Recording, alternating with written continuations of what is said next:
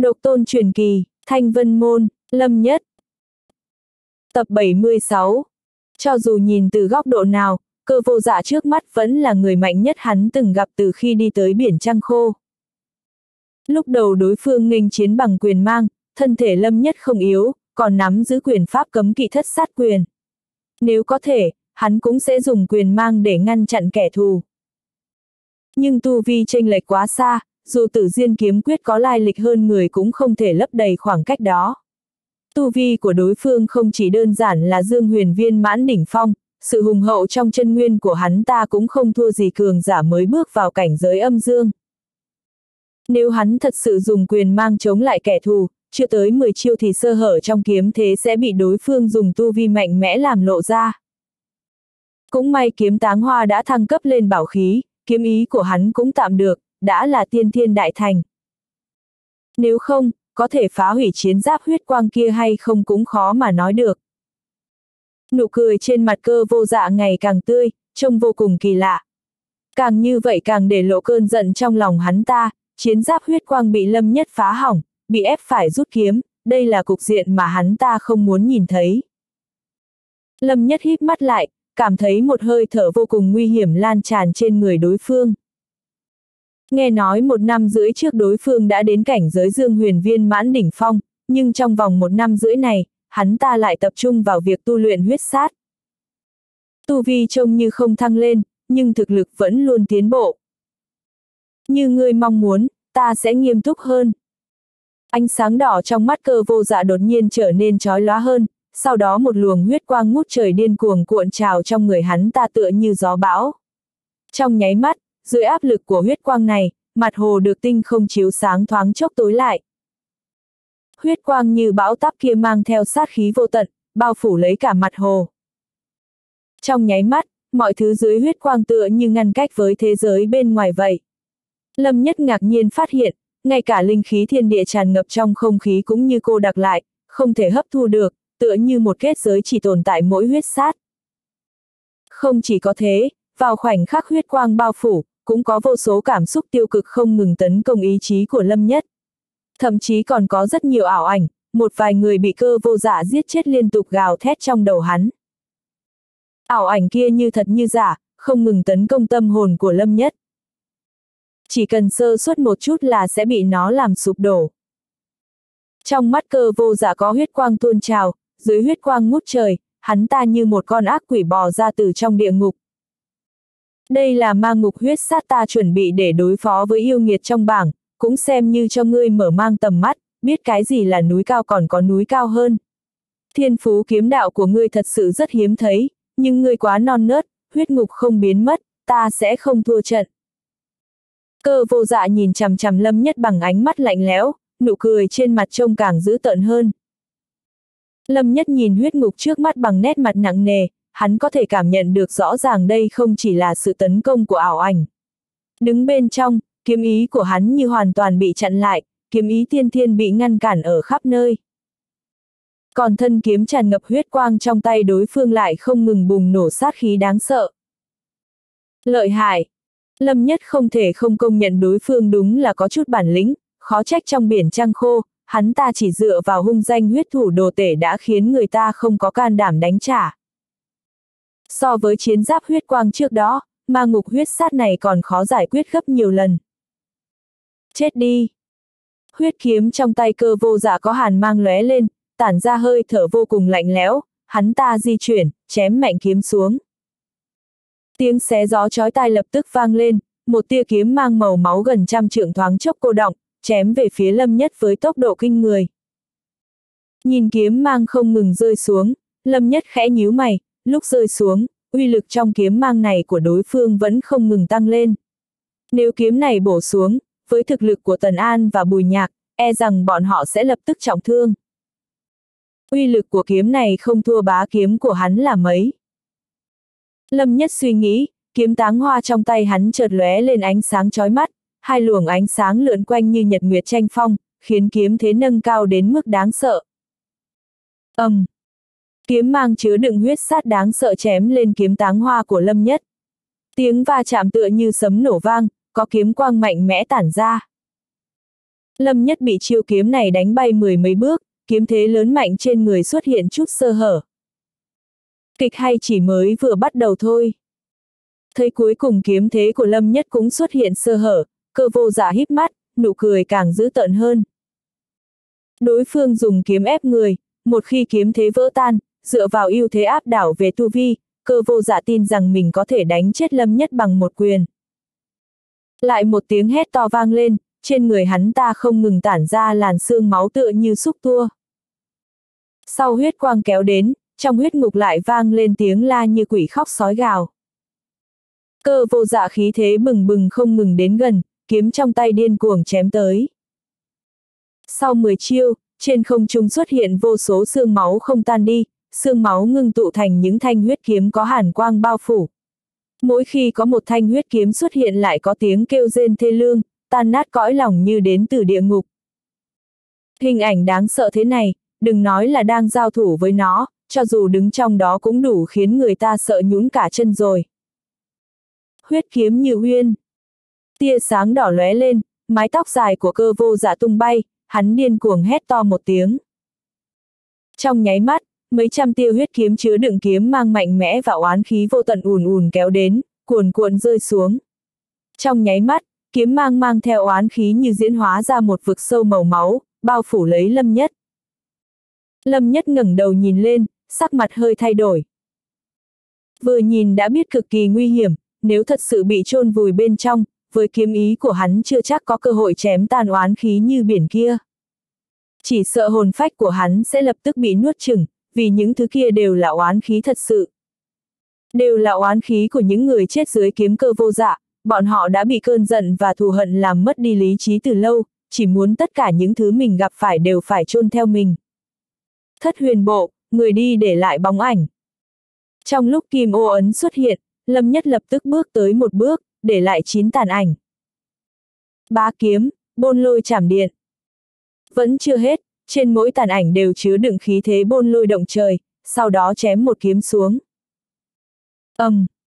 Điện quang cuồn cuộn ngưng tụ thành kiếm mang màu bạc thoáng chốc chiếu sáng cả huyết ngục u ám, chín tia kiếm mang lần lượt giao nhau, đồng thời xuyên thủng vực sâu màu máu kia. A, a, a, a. Tiếng kêu thảm thiết liên tục vang lên, không ngừng có bóng kiếm tiêu tán trong vực sâu màu máu, bị điện quang đốt cháy thành khói đen hôi thối. Vực sâu màu máu đáng sợ cứ thế bị chín tia kiếm mang đan sen cố định trên không trung không thể rơi xuống. Nó tựa như một thi thể thối giữa bị chín tia kiếm mang xuyên thủng hư không treo lên không trung, không thể động đậy. Nhưng dù thế vẫn có rất nhiều kiếm quang màu máu giải rác rơi lên người lâm nhất, phát ra tiếng xoẹt xoẹt, ăn mòn da thịt. Lâm nhất phung kiếm, không dám thả lỏng dù là một chút.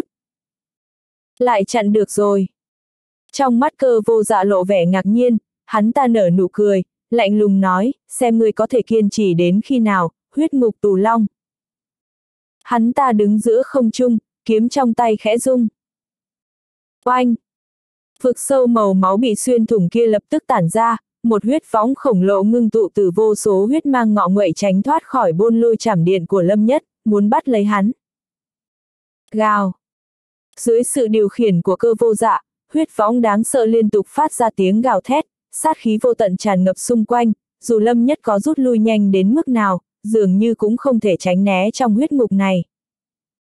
Huyết võng nhanh chóng bắt lấy Lâm Nhất, sau đó không ngừng co lại. Nó còn chưa hoàn toàn co chặt mà Lâm Nhất đã cảm thấy cả người đau nhói. Cũng may thân thể hắn rất cứng rắn, nhưng e rằng một khi bị bắt, kết quả chắc chắn sẽ rất thê thảm. Keng, keng, keng. Những tia kiếm quang chém lên huyết võng làm tia lửa bắn ra, nhưng lại không có tác dụng gì. Cơ vô dạ lạnh nhạt đứng nhìn mọi thứ Lâm Nhất làm, ở trong mắt hắn ta, đó đều là dãy dụa vô ích. Nên kết thúc rồi.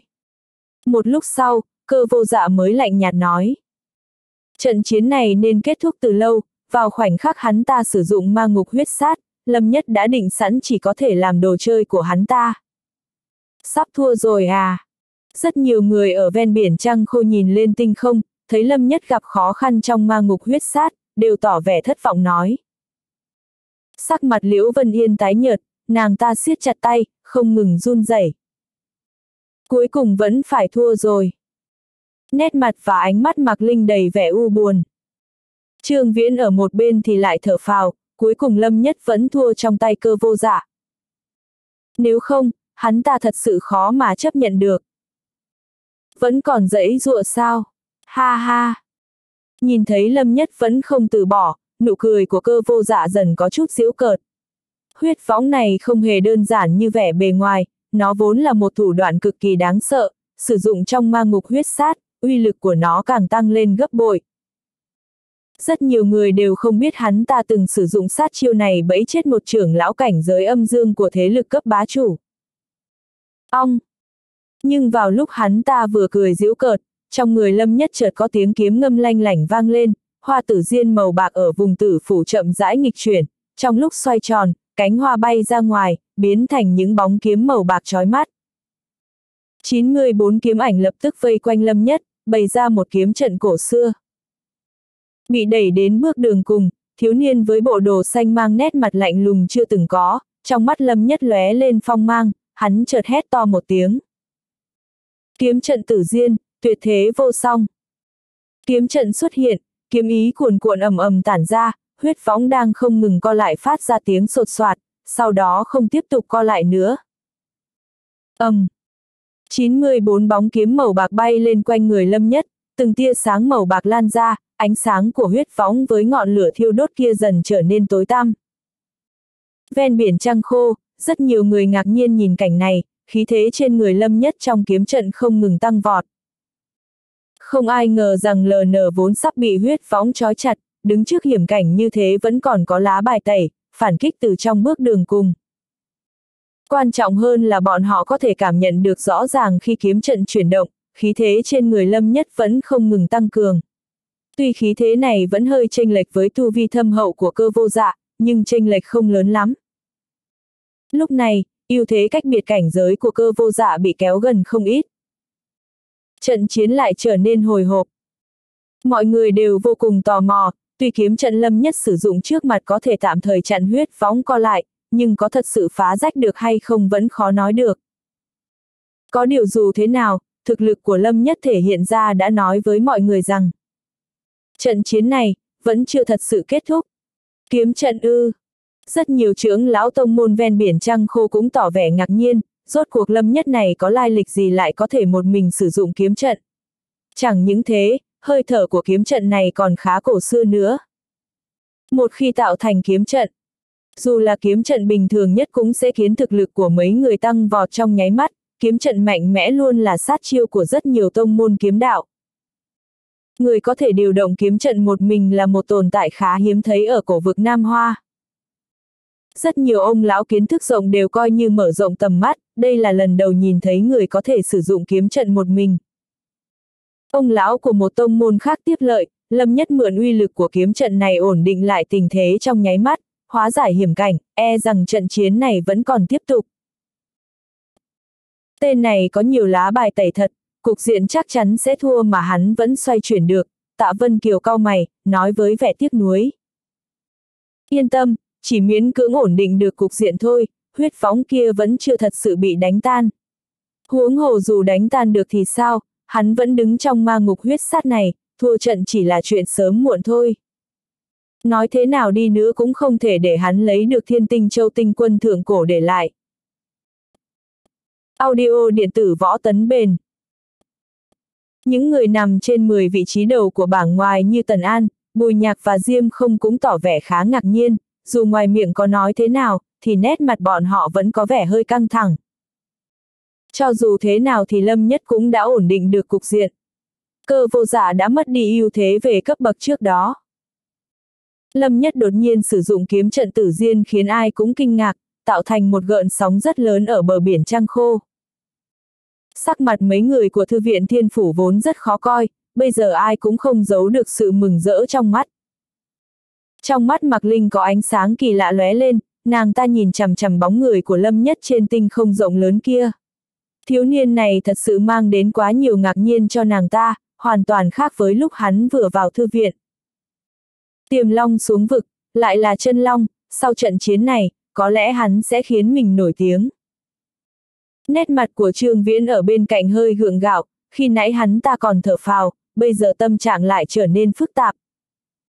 Trong cổ mộ, cơ vô dạ nhìn về phía bóng kiếm đang di chuyển theo một quỹ đạo nào đó trên người đối phương, nét mặt cứng đờ, lạnh lùng nói, ngươi có nhiều thủ đoạn thật. Lâm nhất cầm kiếm táng hoa trong tay, hắn có thể cảm nhận chân nguyên cuộn trào trong người, hắn và kiếm trận tử diên này đã hòa thành một thể từ lâu. Chỉ cần vẫy tay là có thể bộc phát ra lực lượng động trời, uy năng đáng sợ kia mạnh mẽ đến mức bản thân hắn cũng thấy khiếp sợ. Kiếm quyết thăng cấp, kiếm trận tử diên này đã trở nên kinh khủng hơn lúc còn là tầng 9 nhiều. Cho nên ta mới bảo ngươi nghiêm túc hơn, vì chỉ cần không cẩn thận, ngươi sẽ thua rất thê thảm.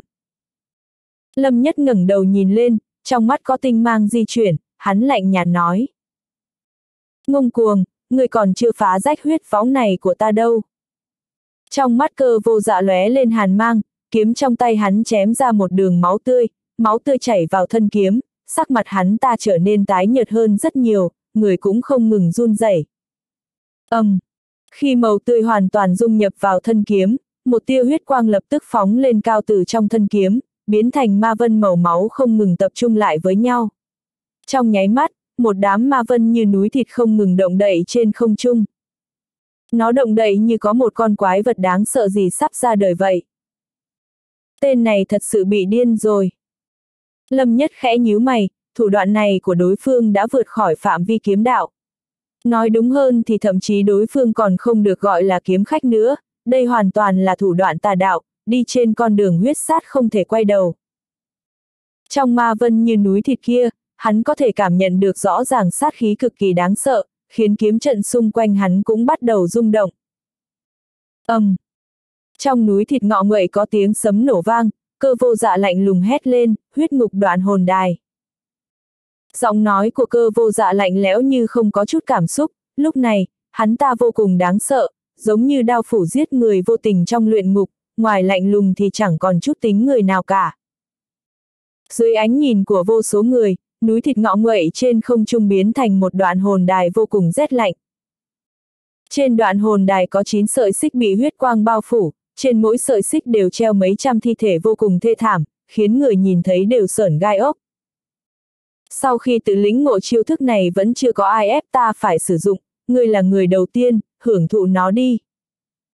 Trong mắt cơ vô dạ lóe lên ánh sáng hung ác, lúc này nét mặt hắn ta vô cùng dữ tợn, huyết khí dày đặc. Vừa dứt lời, hắn ta chém một kiếm xuống, sợi xích trên đoạn hồn đài lập tức rung động dữ dội. Toàn bộ đoạn hồn đài mang theo uy thế cực kỳ đáng sợ chèn ép về phía lâm nhất. ầm ầm. Lúc đoạn hồn đài kỳ lạ rơi xuống, không khí bị chèn ép đến mức nứt ra. Trước mắt, cho dù ai cũng có thể nhìn ra cơ vô dạ này đã có thực lực không thua gì âm dương tiểu thành, thậm chí còn mạnh hơn một chút. Hắn ta sử dụng thủ đoạn này là muốn giết chết Lâm Nhất, không cho hắn đường lui. Lâm Nhất ngẩng đầu nhìn lên, cảm nhận được hơi thở nguy hiểm, nhưng hắn lại không hề tỏ vẻ sợ hãi. Oanh! Hắn dùng suy nghĩ, những bóng kiếm màu bạc vẫn đang phập phồng bay lên bay xuống kia lập tức đứng yên lại. Kiếm trận khổng lồ chợt dừng lại, người lâm nhất run mạnh, lục phủ ngũ tạng cũng thoáng đau đớn. Leng keng. Tiếng kiếm reo giòn giã như tiếng tiên hạc bay cao trên mây, vang vọng khắp đất trời. 94 kiếm ảnh đang đứng yên chậm rãi di chuyển một tấc. Chỉ một tấc, nhưng lại như lũ quét kéo đến, núi tuyết sụp đổ, kiếm ý ngút trời đánh tới. Kiếm ý cuộn trào trên người lâm nhất không ngừng tích lũy với tốc độ không thể tưởng tượng được. Đến khi kiếm trận nghịch chuyển một vòng, kiếm ý tích lũy kia đã biến chất đến mức kinh người, ngưng tụ thành một chùm sáng màu bạc khổng lồ, giống như một thanh kiếm sắc bén cắm thẳng lên trời. Giác! Huyết phóng căng chặt kia lập tức vỡ tan thành vô số mảnh vụn. Lúc này, mặt hồ cũng không ngừng dao động, dao động một cách điên cuồng.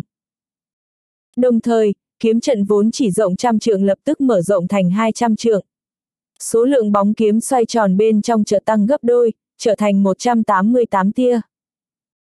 Vẫn chưa hết. Khi đoạn hồn đài đè xuống, kiếm trận xung quanh lâm nhất vẫn không ngừng nghịch chuyển. Một vòng, hai vòng, ba vòng, lúc đạt tới bảy vòng vẫn không có dấu hiệu dừng lại. Trên trán lâm nhất thấm ướt mồ hôi, sắc mặt tái nhợt. Không phải hắn không muốn dừng lại, mà là huyết ngục đoạn hồn đài của cơ vô giả quá khủng khiếp, thậm chí hắn còn không dám chắc kiếm trận nghịch chuyển tám vòng có thể đỡ được không. Sắc mặt của cơ vô dạ ở bên kia cũng khá khó coi. Thân thể hắn ta run rẩy rất rõ ràng, mỗi khi đoạn hồn đài rơi xuống một chút, sắc mặt hắn ta sẽ tái đi một chút. Nhưng hắn ta vẫn cắn chặt răng, huyết sát không ngừng cuộn trào trên người. Liều mạng rồi sao? Nhìn thấy đối phương vẫn đang không ngừng tăng cường uy năng của đoạn hồn đài, trong mắt lâm nhất lộ vẻ dứt khoát. Ai sợ ai? Giọng nói trầm khàn mang theo tiếng kiếm ngút trời vang lên từ trong miệng lâm nhất, giống như một truyền thừa cổ xưa nào đó hiện lên trên người hắn. Lúc này, nét mặt lạnh nhạt của thiếu niên trở nên vô cùng nghiêm túc. Kiếm trận nghịch chuyển chín vòng, đạt tới phạm vi nghìn trượng, bóng kiếm dày đặc, tạo thành tiếng vang ầm ầm. Kiếm trận hội tụ tất cả chân nguyên và khí lực của Lâm Nhất, đạt tới mức độ chưa từng có. Trên người thiếu niên ở trung tâm kiếm trận có hư ảnh của băng phượng màu tím như ẩn như hiện, đáp xuống vùng đất này. Oanh! Vào lúc mọi người nghi ngờ có phải mình hoa mắt nhìn nhầm không, trong kiếm trận tử diên vang lên một tiếng phượng kêu. Tiếng kêu kia tựa như vang lên từ chín tầng mây, khiến côn luân tan vỡ, tinh quang thưa thớt, mọi thứ trên thế gian đều mất đi màu sắc. Đó là tiếng kêu của tử băng diên tước, tồn tại kiêu ngạo nhất độc lập nhất trong tộc băng phượng, cả đời kiêu ngạo, tách biệt với thế giới. Tiếng kêu của nói lạnh lẽo như có thể khiến vạn vật tan nát cõi lòng. Trong mắt lâm nhất có kiếm mang lóe lên, hắn nhìn đoạn hồn đài chậm rãi đè xuống, vung kiếm táng hoa trong tay. Kiếm trận tử diên, tuyệt thế vô song. Cửu chuyển quy nhất, phượng minh chiêu dương.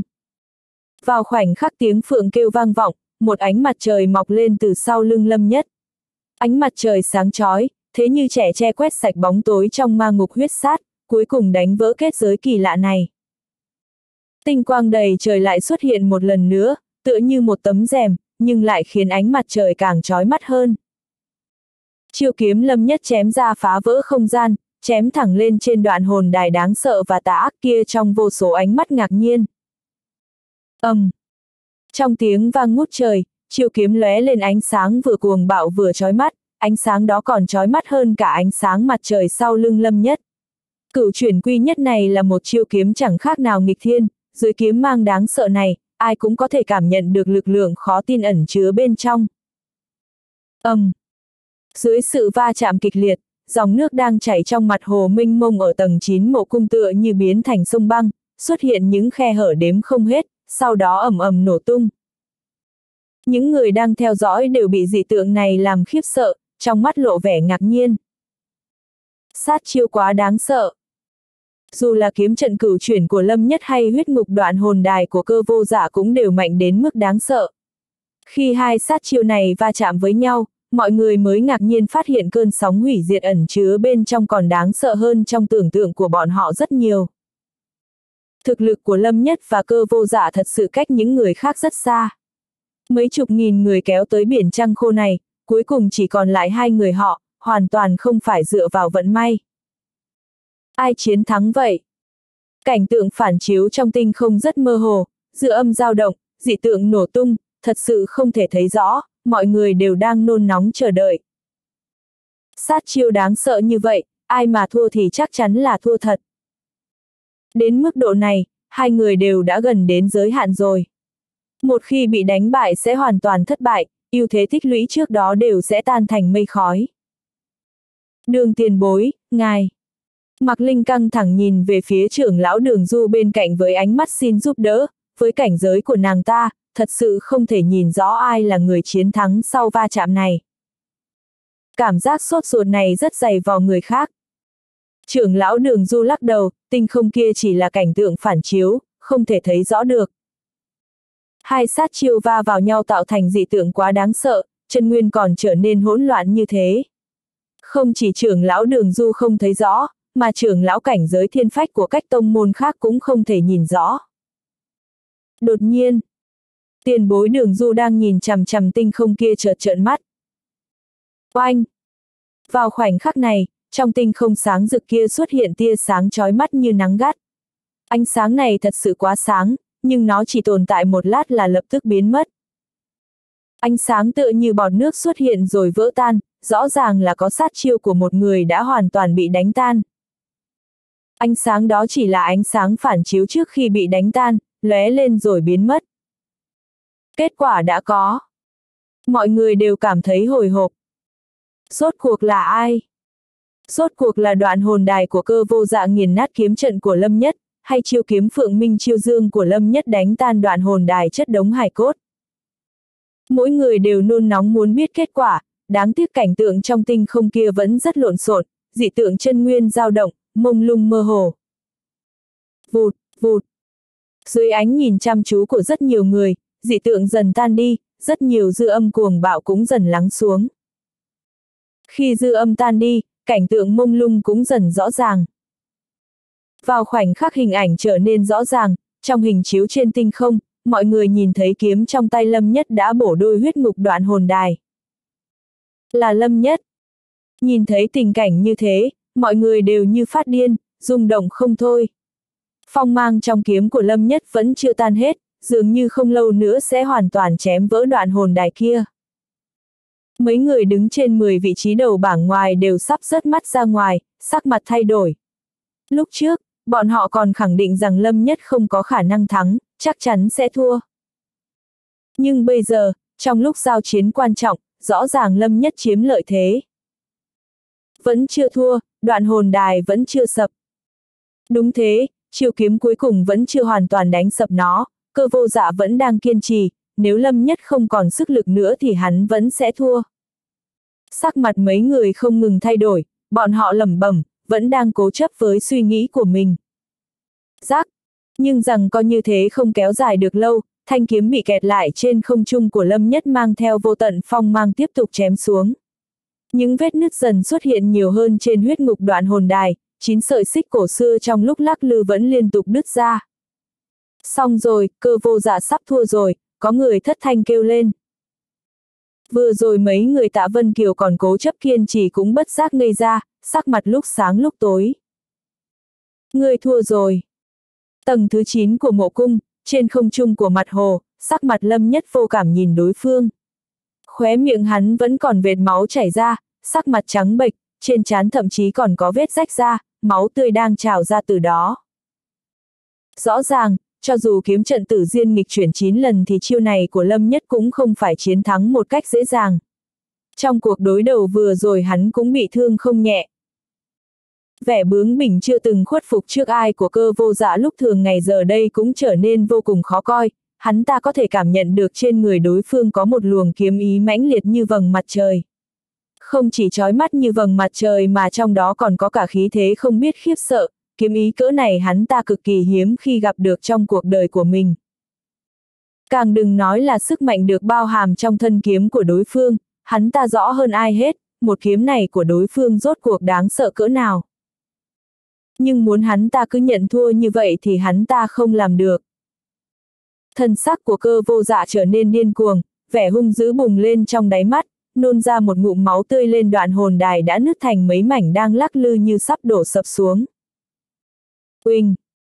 Cơ vô dạ rút cả tinh huyết bản nguyên ra để chống đỡ khiến cho đoạn hồn đài kia lại một lần nữa bùng lên huyết quang ngập trời, chín sợi xích sắt lắc lư điên cuồng. Ta vẫn còn chưa thua. Gương mặt của cơ vô dạ vốn đã tái mét, nay lại càng trở nên trắng bệch như một tờ giấy trắng, trông vô cùng đáng sợ. Thần sắc trong đáy mắt đều là lửa giận bừng bừng, hai mắt dán chặt lên người lâm nhất, hận không thể nuốt sống hắn. Loại phẫn hận đến mức hung tàn này làm người ta không dám nhìn thẳng vào hắn ta. Nhưng thủ đoạn cỡ này đối với Lâm Nhất mà nói chẳng qua chỉ là sự hận thù lúc tuyệt vọng mà thôi, nhìn thì có vẻ hung tàn nhưng thực tế lại trống rỗng. Cho dù chỉ luận về sự hung tàn thì Lâm Nhất có lúc nào lại từng sợ đối phương đâu. Cả quãng đường trước đó, hắn luôn tàn nhẫn với kẻ địch, nhưng hắn lại càng nhẫn tâm với chính mình hơn. Không có ai, trong cùng thế hệ lại đã từng trải qua sự đau khổ của tuyệt vọng hơn hắn. Nếu như cơ vô thường cảm thấy đây chính là tuyệt vọng, vậy thì Lâm Nhất phải nói cho đối phương biết rằng, vẫn còn kém xa lắm. Tuyệt vọng thực sự không phải là thua bởi đối thủ mà bản thân hầu như chưa từng coi trọng. Mặc kệ người kiêu ngạo bằng trời, tự cao tự đại, cũng tuyệt đối không có cái gọi là thua không nổi. Nỗi tuyệt vọng thực sự chính là trơ mắt nhìn người mà ngươi muốn bảo vệ bất lực chết đi trước mắt ngươi. So với ta mà nói, cơ vô dạ ngươi còn kém xa. Đáy mắt lâm nhất lóe lên luồng sức mạnh ác liệt, lạnh băng mà tuyệt tình, mức độ lạnh lùng đó khiến cho gương mặt của thiếu niên nhìn trông cực kỳ dữ tợn. Chân nguyên từ trên xuống dưới khắp cơ thể hắn sao động, sức mạnh còn sót lại của kiếm trận tử diên bị ý chí mạnh mẽ này liều mạng điều động. Từng luồng chân nguyên minh mông, cuồn cuộn không dứt được rót vào trong táng hoa kiếm. Dưới tác động của luồng sức mạnh trào dâng, nhục thân dũng mãnh của Lâm Nhất cũng có vẻ như không còn sức để chống đỡ nổi nữa, tứ chi bách hải đều ngâm ngầm đau đớn. Nhưng sự mạnh mẽ trong ánh mắt của hắn lại không hề suy giảm, phong mang không hề bớt đi, vẫn kiên trì như cũ. Vào lúc sức mạnh của kiếm trận đã sắp bị rút sạch, lông mày lâm nhất nhướn lên, lạnh giọng quát, phá. Uinh ầm ầm. Sau tiếng quát điên cuồng, táng hoa kiếm tâm ý tương thông với hắn cũng bùng lên quang mang màu bạc bao phủ luồng huyết quang mới bùng lên trên đoạn hồn đài. Thân kiếm rung vang, những âm thanh kiếm âm réo rắt vang vọng khắp một vùng trời. Không hề cho đối phương có cơ hội cảm thấy may mắn, phong mang của một kiếm này thế như trẻ tre hung tợn chém xuống đoạn hồn đài. Dưới uy lực lên đến cực hạn của kiếm trận tử diên, trước vô số ánh mắt kinh hãi, đoạn hồn đài kia ầm ầm nứt toát thành vô số mảnh nhỏ. Phụt. Giây phút khi đoạn hồn đài nứt vỡ, cơ vô dạ phụt ra một ngụm máu tươi, luồng khí thế cố gắng chống đỡ cơ thể kia cũng đồng thời suy yếu rồi biến mất. Rác, rác, rác, rác, rác. Còn chưa hết, ma ngục huyết sát bao trùm cả một vùng trời kia cũng đồng thời nứt toác ra. Kết giới quái dị do cơ vô dạ dùng huyết sát chống đỡ cũng đổ sập xuống sau khi hắn thua trận và va chạm với kiếm ý của Lâm Nhất. Phụt! Cơ vô dạ lại phun ra một ngụm máu tươi nữa, trên mặt hồ, hắn ta bị đánh bay ngược về phía sau mấy trăm mét. Ma ngục huyết sát cũng nát rồi. Tiếng hô ngạc nhiên kinh hãi vang lên ầm ầm trong biển trăng khô vô biên vô tận, tất cả những âm thanh huyên náo lúc này đều truyền hết ra. Ánh mắt của tất cả mọi người đều mang đầy vẻ không thể tin nổi nhìn cảnh tượng trước mặt, ai cũng không ngờ được, cơ vô dạ lại thua thê thảm như vậy. Hắn ta không chỉ thua cuộc mà còn thua đến mức thảm hại như vậy. Bây giờ trên mặt hồ kia, thậm chí đến việc đứng lên với hắn ta mà nói cũng có chút khó khăn. So sánh với hắn ta thì thiếu niên áo xanh kia vẫn không hề mất đi phong thái của mình, phong mang vẫn mãnh liệt như thế. Nhóm người diêm không trong 10 hạng đầu của ngoại bảng cũng ngây người nhìn cảnh tượng trước mắt này, bọn họ thực sự không thể ngờ được, cũng không thể chấp nhận được sự thật này.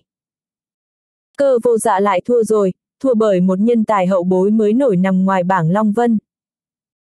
Khụ, khụ. Cơ vô dạ ở giữa hồ phát ra tiếng ho xé phổi, sau mỗi một tiếng ho đều có dòng máu rỉ ra. Hắn ta bây giờ đã thê thảm hết chỗ nói, hai lần thấu chi bản nguyên, không chỉ đơn giản là chân nguyên bị hao sạch như vậy. Trong mắt hắn ta vẫn đầy vẻ hung ác, dường như vẫn không cam tâm. Nhưng khi hắn ta còn muốn làm gì đó thì một luồng ánh mắt như tia điện lạnh lùng đáp xuống trên người hắn ta. Lâm Nhất hờ hững nói, muốn tế võ hồn sao? Ta khuyên ngươi đừng có làm như vậy, một khi đến cả võ hồn cũng bị thương tổn thì cho dù ngươi có thăng cấp lên cảnh giới âm dương thì cũng chẳng có ý nghĩa gì nữa. Thân sắc của cơ vô dạ bỗng cứng đờ, vẻ lạnh băng trong đáy mắt của đối phương làm cho hắn ta cảm thấy lạnh thấu xương. Dường như chỉ cần có bất kỳ cử động nào, kiếm của đối phương sẽ không hề do dự mà đâm tới, không hề mang theo chút thương xót nào. Ánh mắt sắc lạnh như kiếm kia làm lòng hắn ta nổi lên cảm giác bất lực, khiến hắn ta tuyệt vọng đến mức mất cả dũng khí để tế ra chiêu thức cuối cùng của mình. Thắng bại đã phân. Đúng vào lúc lòng hắn ta vừa mới sinh ra cảm giác bất lực thì ý chí tinh quân còn sót lại trong cả tòa mộ cung lập tức trở nên rõ ràng, lạnh lùng mà không cho phép kháng cự tuyên bố kết quả. Không, không. Thiên quân vạn mã cũng phải từng người đi qua cầu độc mộc, một tướng công thành sẽ có vạn cốt khô. Từ con số hàng vạn người lúc đầu, đến bây giờ chỉ còn sót lại mỗi mình lâm nhất, sự tàn khốc trong giới võ đạo lại lần nữa hoàn toàn bị bóc trần. Đếm không xuể số đệ tử tông môn từ các nơi trong cổ vực Nam Hoa chạy đến đây, có người có lẽ chỉ muốn tìm được một số bảo vật trong biển trăng khô. Một số người có dã tâm lớn hơn chút thì hy vọng có thể sống sót để vượt qua được vài vòng trong cổ mộ tinh quân. Cho dù bị đào thải một cách tàn khốc thì vẫn coi như có chút thu hoạch, thậm chí là nhiều hơn cả mong đợi.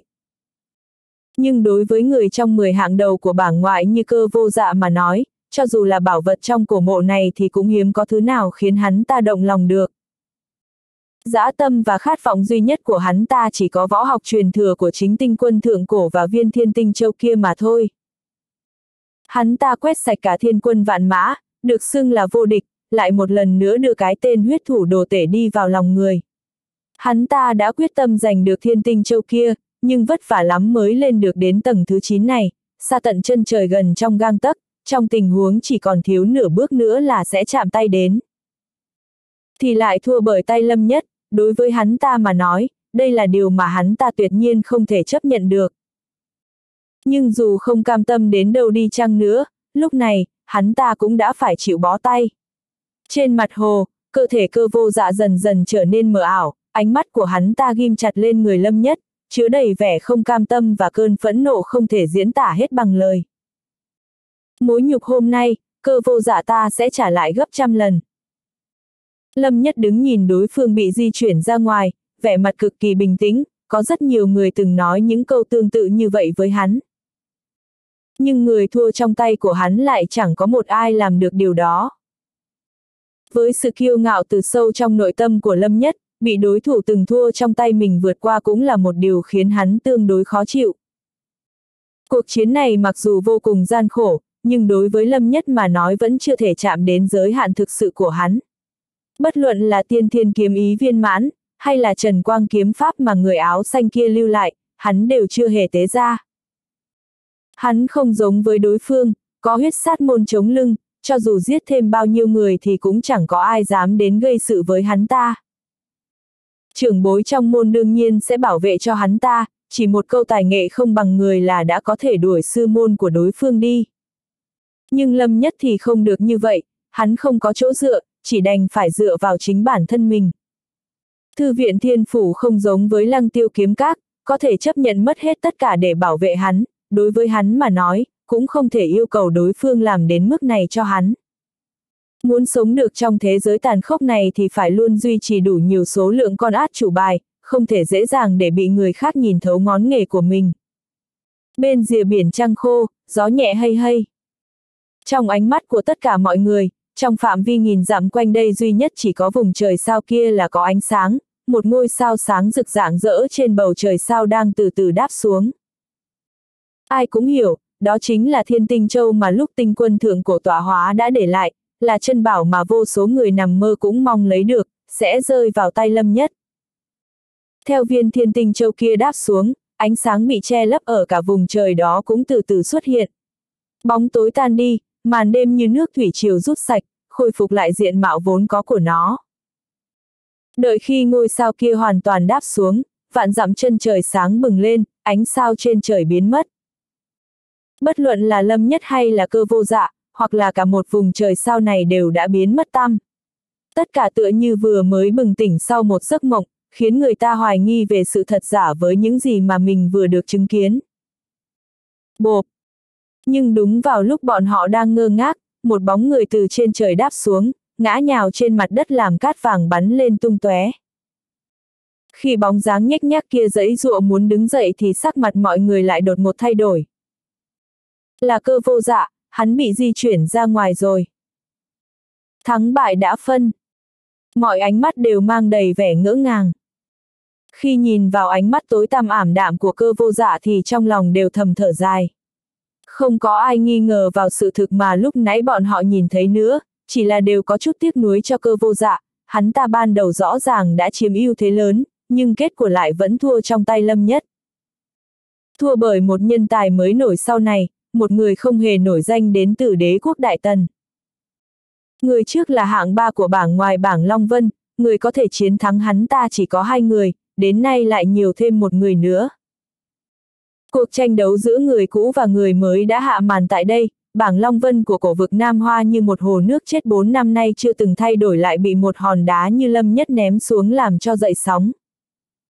Ai cũng không biết, cơn sóng này rốt cuộc sẽ gây ra những hậu quả thế nào, nhưng đều có thể tưởng tượng ra được. Bầu trời đã thay đổi. Còn có 8-9 tháng nữa là bắt đầu quần Long Thịnh Yến, chắc chắn sẽ vô cùng đặc sắc, những tân tú đột ngột nổi lên như lâm nhất này, chắc chắn sẽ không chỉ có một mình hắn. Thắng rồi. Khi nhìn thấy cơ vô dạ bị dịch chuyển ra ngoài, bên phía thư viện thiên phủ lập tức nổ ra âm thanh hoan hô rúng động. Bất kể ra sao, lâm nhất này bây giờ vẫn là chấp sự khách khanh của thư viện thiên phủ, ít nhiều cũng mang về chút sĩ diện cho thư viện.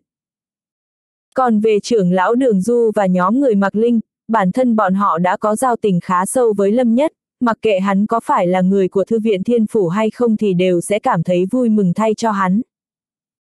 Đáng sợ, thế mà lại đánh thắng cơ vô dạ. Trương Viễn thầm tặc lưỡi, nhìn về phía bầu trời phía xa xa, đáy mắt lấp lánh ánh sáng khâm phục. Lâm Nhất này không thể không phục, hắn ta hiểu rất rõ cơ vô dạ này đáng sợ cỡ nào, tính cả những đệ tử nòng cốt có tiên thiên kiếm ý nắm chắc phần thắng trước cơ vô dạ thì cũng không nhiều. Tên đó ngông cuồng cỡ nào, hắn ta đã từng được lĩnh giáo trong biển trăng khô này rồi, thậm chí hắn ta còn chẳng thèm coi trọng đệ tử của thiên kiếm tông. Đáng tiếc lần này lại thua đến mức thê thảm như vậy, quá là nhếch nhác. Danh hiệu công tử táng hoa này có lẽ đã được định sẵn là sẽ vang danh rồi. Trưởng lão đường du vuốt tròm dâu khẽ cười nói, mọi người đứng bên cạnh cũng cười gật đầu tán thành. Hạng ba của bảng ngoài cơ vô giả có tiếng xấu vang khắp cả cổ vực Nam Hoa này, Lâm Nhất có thể đánh thắng hắn đoạt được thiên tinh châu thì đã định là sẽ không thể không nổi danh được. Việc tên của hắn sẽ vang dội trong khắp cổ vực Nam Hoa chỉ là vấn đề thời gian mà thôi. Tên này khi tất cả mọi người của Thư viện Thiên Phủ đang hoan hô ăn mừng thì ở vị trí bên phía lầu huyết vũ, sắc mặt của tất cả trưởng lão và đệ tử đều khá là khó coi. Cơ vô dạ vậy mà lại thua rồi. Chẳng trách sư huynh lãnh hạo vũ lại chết một cách dễ dàng như thế dưới kiếm của hắn, bây giờ xem ra đúng là chẳng có gì kỳ lạ. Bây giờ ai còn nhớ được cái chết của sư huynh chứ, bọn họ đều đang nói về lâm nhất yêu nghiệt đến mức nào, sư huynh đã thực sự trở thành viên đá lót đường cho hắn rồi. Chết dưới kiếm của hắn mà đã lập tức trở thành dĩ vãng tất cả đám đệ tử của lầu huyết vũ đều thở vắn than dài, thổn thức không thôi. Kẻ mạnh cảnh giới thiên phách có mặt để ổn định thế trận mà sắc mặt đã xa sầm đến cực điểm, sát ý trong đáy mắt như thể muốn phun cả ra ngoài. Thân là sư tôn của lãnh hạo vũ, cục tức này ông ta quả thực không thể nuốt trôi, ba vị trưởng lão cảnh giới âm dương đứng bên cạnh ông ta sắc mặt cũng đen xì. Một hồi sau, kẻ mạnh cảnh giới thiên phách kia mới nghiến răng nghiến lợi nói, một tiểu tử từ đế quốc đại tần lại dám giết hại đệ tử của lầu huyết phú ta, tên tiểu tử này bất luận thế nào cũng đều phải chết. Đường du kia cho dù có ngăn cản thì tiểu tử này cũng không thể không chết, khô huyền nhân ngươi nghe rõ chưa? Trong ba vị trưởng lão áo đỏ, người đứng đầu thoáng ngẩn ra, sau đó lập tức gật đầu, bình tĩnh mà hờ hững đáp, yên tâm, tiểu tử này còn không đến mức phải để tiền bối ra tay, chúng ta tự sẽ có cách để hắn buộc phải chết. Miền trăng khô vốn dĩ nằm trong lãnh thổ của U Châu, lầu huyết phú của ông ta thân là thế lực cấp chuẩn bá chủ của thành U Châu, nếu như đến một tiểu bối xuất thân từ Đại Tần mà không giải quyết được thì cũng khỏi cần phải tìm chỗ đứng ở đây nữa. Trong tầng thứ 9 của cổ mộ, Lâm Nhất không hề biết sự thất bại của cơ vô giả đã gây ra sóng gió lớn đến mức nào ở thế giới bên ngoài. Hắn còn đang cực kỳ kinh ngạc nhìn vào, ngôi sao, lấp lánh đang treo lơ lửng giữa không trung phía trước mặt hắn khoảng hơn 10 mét, nói một cách chính xác hơn, thì có lẽ nên gọi nó là thiên tinh châu. Vật này chính là dị bảo mà những nhân tài hàng đầu của bảng Long Vân đều mơ ước lấy được. Nếu lấy được nó thì chỉ trong một thời gian ngắn sẽ có thể nâng cao phẩm cấp võ hồn lên rất nhiều, coi như là một con đường tắt không tệ. Yêu nghiệt nội bảng của bảng Long Vân, lúc thăng cấp cảnh giới âm dương ít nhất đều sẽ nâng cấp võ hồn của mình đến bát phẩm huyền cấp. Cách biệt của Lâm Nhất còn xa lắm, hai đại võ hồn Trúc Long và cùng kỳ của hắn đều mới miễn cưỡng được coi là nhất phẩm huyền cấp. Ngày thường, hai đại võ hồn đều nằm ở sâu trong tử phủ, mặc dù đều sẽ nuốt chửng dịch nguyên bên trong tử phủ nhưng hiệu quả thăng cấp không rõ rệt. Đối với việc này Lâm Nhất cũng không có nhiều biện pháp giải quyết, dù gì thăng cấp võ hồn vốn là một việc cực kỳ khó khăn. Cho dù có thế lực cấp bá chủ chống lưng, có thể dùng các loại thiên tài địa bảo quý hiếm để nuôi dưỡng, cũng rất khó để trong một thời gian ngắn có thể bùng nổ. Lâm Nhất lại chỉ có một mình, ngày thường những tài nguyên mà hắn có được còn kém xa so với cơ vô dạ, thăng cấp võ hồn đương nhiên là điều cực kỳ khó khăn. Nhưng mà bây giờ, có được viên thiên tinh châu này sẽ thay đổi được rất nhiều thứ.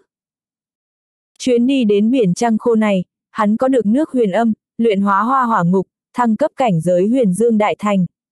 Thu được thương long cửu biến, cướp được một thanh bảo binh thượng cổ, lại có được một giọt máu thương long, thêm cả viên thiên tinh châu trước mặt này, thực sự là quá hoàn hảo. Thu hoạch cực lớn, vượt xa so với trong tưởng tượng lúc trước khi đến đây. Trước khi đến đây, Lâm Nhất chưa từng nghĩ đến chuyến này sẽ lại thu hoạch được nhiều như vậy. Cơ duyên kỳ ngộ trước giờ vẫn luôn dành cho người đã có sự chuẩn bị sẵn sàng, hắn ở ẩn trong thư viện thiên phủ 3 tháng, bây giờ lại thu được nhiều thứ như vậy cũng coi như được đền đáp. Lâm Nhất vươn tay chiêu gọi, định hút viên thiên tinh châu kia về phía mình, nhưng viên thiên tinh châu kia lại khẽ lắc lư như muốn phản kháng hắn. Ý! Lâm Nhất khẽ nhíu mày, thoáng vẻ khó hiểu. Đúng vào lúc hắn còn đang nghi ngờ không biết phải làm sao, thì viên thiên tinh quân kia bỗng lóe sáng, có luồng sáng ngưng tụ thành một hình dáng, mà sau đó nó lại tiến hóa thành một ông lão đang ngồi khoanh chân xuất hiện trước mắt hắn. Đáy mắt lâm nhất thoáng ánh lên vẻ khác lạ, nhưng ngay sau đó đã bình tĩnh lại.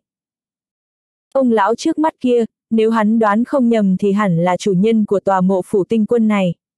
Mặc dù Lâm Nhất đã từng gặp qua rất nhiều tình huống, nhưng trong lòng vẫn có chút dao động, cho dù chỉ còn sót lại chút tàn hồn nhưng người mà hắn đang đối mặt xét cho cùng vẫn là một tinh quân thượng cổ. Gặp qua tiền bối, xin hỏi tiền bối xưng hô thế nào? Lâm Nhất chắp tay hành lễ, vẻ mặt cung kính. Người đã chết thì không cần phải để tâm đến danh hiệu của ta nữa, huống hồ lúc sinh thời ta cũng chẳng phải kẻ mạnh cái thế gì. So với vị đại nhân kia mà ngươi từng gặp, quả thực không tính là gì, không tính là gì. Hình dáng còn sót lại của tinh quân lộ ra nụ cười ôn hòa, đánh giá Lâm Nhất khẽ nói. Vị đại nhân kia. Suy nghĩ của Lâm Nhất nhanh như điện, lập tức hỏi dò, người muốn nói đến tiền bối tử diên kiếm thánh. Chúng ta không thể gọi thẳng danh hiệu của vị đại nhân này. Bóng sáng của ông lão gật đầu nhưng lại vô cùng cẩn thận, không nói ra tên của tử diên kiếm thánh. Trong lòng Lâm Nhất thoáng ngạc nhiên, mặc dù hắn biết tử diên kiếm thánh là một kẻ mạnh tung hoành thiên địa trong thời kỳ hoàng kim thịnh thế, nhưng không ngờ đến lại có uy danh như vậy, đến tinh quân cũng không dám gọi thẳng tên của ông ta. Nhưng mà nghĩ kỹ lại, tính cách của tử diên kiếm thánh kia quả thực là nóng nảy, đối với Lâm Nhất Thân là người được truyền thừa mà cũng chẳng tỏ vẻ yêu thích gì mấy. Tiền bối đã sớm biết thân phận của ta rồi sao? Lâm Nhất Thu lại suy nghĩ trong đầu, nhìn về phía ông lão ở phía trước mặt hỏi. Đó là đương nhiên, tử diên kiếm quyết ta mặc dù không học được nhưng cũng đã từng gặp qua. Chẳng qua, mặc dù nói như vậy nhưng ta cũng sẽ không vì ngươi có được truyền thừa từ vị đại nhân đó mà yêu ái cho ngươi hơn. Một khi thua trận, ta vẫn sẽ dịch chuyển ngươi ra ngoài, bất luận là truyền thừa của ta hay là viên thiên tinh châu này đều sẽ để lại cho cơ vô dạ. Ông lão tinh quân nở một nụ cười, không hề giấu giếm nói. Trong lòng lâm nhất hiểu ra, một hồi sau trầm giọng nói, nếu như tiền bối đã hiện thân, vậy truyền thừa này có phải vãn bối đủ tư cách để nhận? Ông lão tinh quân vuốt tròm dâu cười nói, thôi vậy, một là ta tu luyện thương pháp, có thể dùng để hỗ trợ cho kiếm đạo của ngươi. Hai là ngươi đã có được truyền thừa từ vị đại nhân kia, truyền thừa này của ta đối với ngươi mà nói chẳng qua như dệt gấm thêm hoa, không có quá nhiều ý nghĩa, nói không chừng ôm đồm nhiều mà lại chẳng chuyên tâm được cái gì, không hay không hay. Lâm Nhất hơi thất vọng, nhưng mà cũng không quá để ý. Hắn mặc dù đến đây nhưng cũng không có nhiều hứng thú với truyền thừa của cổ mộ tinh quân, không chỉ là hắn, bao gồm cả cơ vô giả dạ và nhóm tạ Vân Kiều cũng vậy, thứ mà bọn họ thực sự để ý chính là thiên tinh châu. Tiếp nữa, chính là những bảo bối mà tinh quân thượng cổ ngày trước thu được, trong số những thứ đó ít nhất cũng phải có một hai thứ khiến người ta phải động lòng. Kỳ thực cho dù hôm nay ngươi thua trận thì thu hoạch cũng đã không tệ, ta lúc còn sống thu được ba món bảo bối tốt nhất thì ngươi đã có được hai món, ông lão tinh quân cười híp mắt nói. Hai món. Lâm nhất như có điều suy nghĩ, suy xét một hồi thì đại khái đoán ra được, khẽ giọng nói, là thương long cửu biến và máu thương long. Không sai, Thương long cửu biến thì không cần nói nhiều, giọt máu thương long kia chính là thứ hiếm có vô cùng, với thực lực của ta gần như không thể lấy được nó. Năm đó ta cũng chỉ là may mắn, trong một cuộc đại chiến, nhặt được thi thể của một vị tiền bối, ông lão tinh quân kể lại chuyện xưa, gương mặt cũng thoáng vẻ cảm khái. Lâm nhất nghe vậy thì ngây ra, trái lại có chút bất ngờ, kẻ mạnh tinh quân này còn phải dựa vào thủ đoạn không mấy vẻ vang gì này để lấy được bảo vật. Nhưng mà nghĩ lại thì hình như cũng chẳng có vấn đề gì, tinh quân thượng cổ này trong mắt lâm nhất mạnh đến khó mà tưởng tượng nổi, nhưng trong thời kỳ thịnh thế hoàng kim thì chưa chắc đã là một nhân vật tiếng tăm. Giống như cổ mộ tinh quân này mặc dù nói đã gây ra tiếng vang lớn trong thành U Châu, nhưng những yêu nghiệt kia của nội bảng lại chưa hề xuất hiện, rõ ràng là có chọn lọc. Lâm Nhất suy nghĩ một lúc mới cất lời, vậy ta đoán món bảo vật thứ ba hẳn cũng là do vị tiền bối kia để lại, nói không chừng có liên quan đến thương long quyết. Người vậy mà rất thông minh, không sai, món bảo vật thứ ba quả thực có liên quan đến thương long quyết, thương long quyết bao quát phản tượng, có thương pháp, trưởng pháp, quyền pháp, thân pháp, một người khác đã lấy được thương long kiếm quyết, ông lão tinh quân mỉm cười nói. Thương long kiếm quyết. Lâm nhất nghe vậy hơi ngẩn ra, thoáng giật mình. Thương long cửu biến cộng với máu thương long có lẽ mới miễn cưỡng có thể sánh được với thương long kiếm quyết, còn may là hắn có tử diên kiếm quyết, nếu không thì đúng là khó mà tiếp nhận được. Bị ai lấy mất rồi? Lâm nhất khá là tò mò chuyện này. Trong đáy mắt ông lão tinh quân thoáng qua ý cười đầy vẻ phức tạp, khẽ nói, nói cho ngươi biết cũng chẳng sao, hắn ta được người khác gọi là Bạch Lê Hiên, hình như có quen biết với ngươi. Trong cổ mộ tinh quân, luôn chậm hơn ngươi một bước, mấy lần bị người mà ngươi đánh bại làm cho kinh hãi, đáng tiếc trong cuộc khảo nghiệm ở tầng thứ 9 của mộ cung đã bị đánh bại bằng một chiêu, không thể đi được đến bước cuối cùng. Công tử Tiểu Bạch, Bạch Lê Hiên. Hóa ra là bị hắn ta lấy đi, trong lòng lâm nhất thầm nói, như vậy cũng tốt. Bất kể ra sao, người này cũng đến từ đế quốc đại tần như hắn, lại cùng đi ra từ lăng tiêu kiếm các. Ân oán năm đó đã dứt, coi như có chút giao tình đồng môn, bị hắn ta lấy được thương long kiếm quyết này cũng tốt hơn là để người khác lấy được. Chỉ là người này vẫn luôn đuổi theo hắn, Lâm Nhất cũng không hề thấy bất ngờ. Trong cuộc chiến long môn tranh tài, chấp niệm thua trong tay mình, đối với hắn ta mà nói e là sẽ rất khó để quên đi. Chẳng qua cũng không phải là không có gì cho ngươi, vất vả đi được đến tầng cuối cùng này, cho dù không thể lấy được truyền thừa của ta, ta cũng sẽ chuẩn bị một phần quà cho ngươi. Ông lão tinh quân mỉm cười sau đó phất tay một cái. Ao! Thình lình mặt hồ bừng sáng lên, từng viên tinh châu như đom đóm từ từ bay lên, dày đặc, gần như đếm không xuể, có lẽ số lượng không dưới 10 vạn.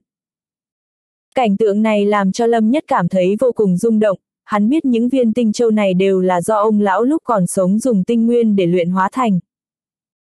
Trước đó, chỉ có thể nhìn ngắm nó ở trên trời. Nhưng bây giờ nhìn kỹ lại, trong mắt Lâm Nhất thoáng vẻ lạ thường, cảm giác có chút quen thuộc.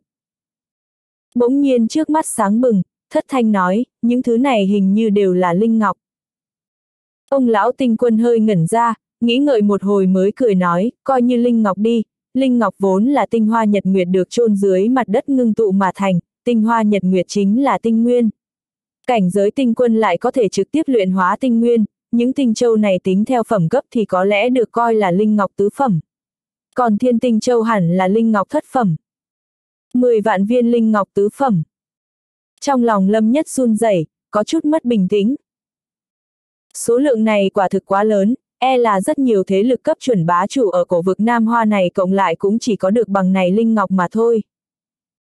Đối với ngươi mà nói quả thực là hơi nhiều, nhưng mà đến cảnh giới của ta thì chẳng đáng là gì, ông lão tinh quân nói bằng giọng nhàn nhạt. Một hồi lâu sau, Lâm Nhất mới bình tĩnh lại, trầm giọng nói, đa tạ tiền bối.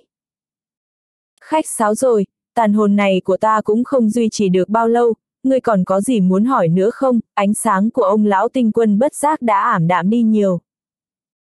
Lâm nhất lúc này mới hoàn hồn, suy nghĩ một lúc rồi nói, ta muốn hỏi một chút, thứ gọi là võ hồn rốt cuộc là cái gì, võ hồn quan trọng thế nào với cảnh giới âm dương. Người có ba hồn bảy phách, ba hồn là thiên hồn, địa hồn, mệnh hồn. Thiên địa nhị hồn thường ở bên ngoài, duy chỉ có mệnh hồn thường nằm bên trong cơ thể, phàm là người chưa nhập tiên thiên thì mệnh hồn sẽ không hiện ra.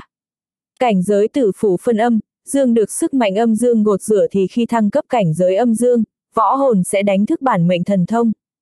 Phẩm cấp võ hồn càng cao, bản mệnh thần thông được đánh thức sẽ càng mạnh, đương nhiên mọi việc đều không có gì chắc chắn. Giọng nói của ông lão tinh quân đã yếu dần, thoáng ngừng lại rồi tiếp tục nói, ba hồn bảy phách, đến cảnh giới thiên phách thì sẽ dần mở bảy phách, mỗi một phách được mở ra thì thực lực sẽ gia tăng gấp bội, đến khi bảy phách hoàn toàn mở hết, hồn phách dung hòa thì sẽ có thể thăng cấp lên cảnh giới tinh nguyên, đến lúc đó sẽ lại là một vùng trời mới. Ông lão không chỉ giảng giải cho Lâm Nhất về hồn phách mà thậm chí còn nói qua loa về cảnh giới thiên phách và cảnh giới tinh nguyên, có khi nào sẽ có người có được nhiều hồn phách không? Lâm Nhất tiếp tục hỏi. Võ hồn đan sen sao? Mặc dù không thường gặp, nhưng cũng không phải là không có, ở thời kỳ thịnh thế của ta, có không thiếu những nhân vật nghịch thiên thậm chí có đến hơn trăm võ hồn. Nhưng số lượng nhiều hay ít thì cũng không tượng trưng cho mạnh hay yếu, quan trọng nhất là dung hòa được võ hồn vào trong võ đạo của chính mình, đến cảnh giới tinh nguyên thì ngươi tự sẽ hiểu được. Ông lão tinh quân thoáng ngừng lại, cười nói ta phải đi rồi. Lời vừa dứt, nụ cười trên gương mặt ông lão cứng đờ, sau đó ánh sáng dần dần nhạt đi. Một sợi tàn hồn lưu lại trên nhân gian từ thời thượng cổ đến nay đã tan biến hoàn toàn. Chỉ là trong nụ cười cuối cùng ấy, rõ ràng vẫn còn rất nhiều lưu luyến với nhân gian. Lâm nhất thở dài một hơi, không người vái chào ông lão đã rời xa nhân thế. Sau đó phất tay chiêu gọi, nắm chặt viên thiên tinh châu trong tay. Vào giây phút khi nó đáp xuống lòng bàn tay, khắp người lâm nhất bông ấm áp lạ thường, vết thương gây ra do lúc đánh nhau với cơ vô dạ cũng nhanh chóng liền lại với tốc độ mắt thường có thể nhìn thấy được. Bên rìa ranh giới của biển trăng khô, một bóng người từ từ đáp xuống, thân mặc áo sam xanh, trên ống tay áo có thể trông thấy hoa văn đặc biệt mà chỉ có lăng tiêu kiếm các mới có. Lâm Nhất Nếu như trước đây còn có nhiều người không biết đến vẻ ngoài này thì sau khi Lâm Nhất đánh bại cơ vô dạ, hầu như không có người nào là không biết đến cả. Giây phút khi hắn xuất hiện, lập tức đã thu hút vô số ánh mắt.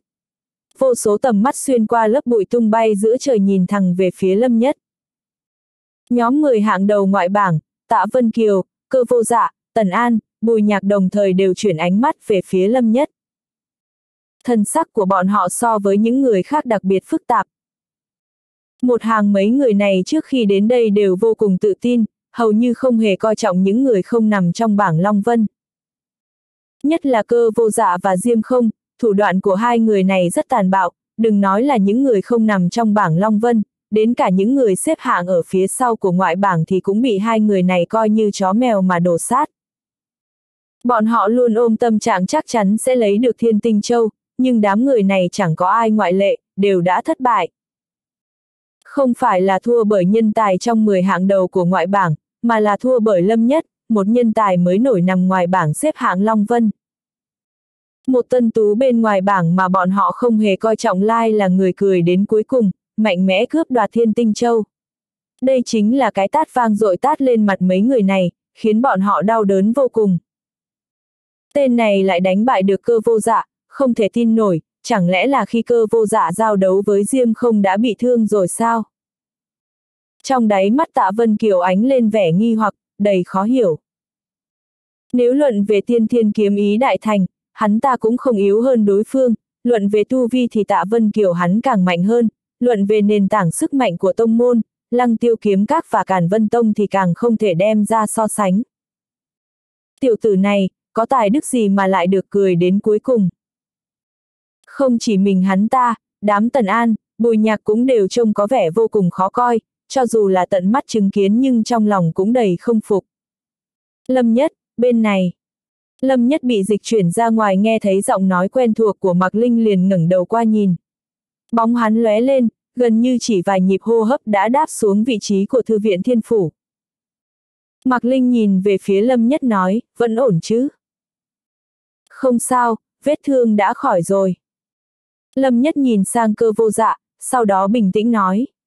Cuộc chiến cùng với đối phương vô cùng nguy hiểm, bị thương cũng không nhẹ, nhưng may là trước khi rời khỏi đó đã hồi phục lại khá nhiều rồi. Cơ vô giả kia thực sự đã bị ngươi đánh bại sao? Tần An và Bùi Nhạc liên thủ cũng phải thua dưới kiếm của ngươi sao? Trưởng lão và những người khác của Thư viện Thiên Phủ mặc dù có thể tận mắt nhìn thấy hình ảnh đảo ngược của bầu trời sao kia, nhưng ít nhiều cũng cảm thấy có chút không chân thực, cảm giác nó quá mộng ảo. Ngoài ta ra, có lẽ cũng không còn người khác đâu nhỉ. Lâm Nhất mỉm cười khẽ đáp.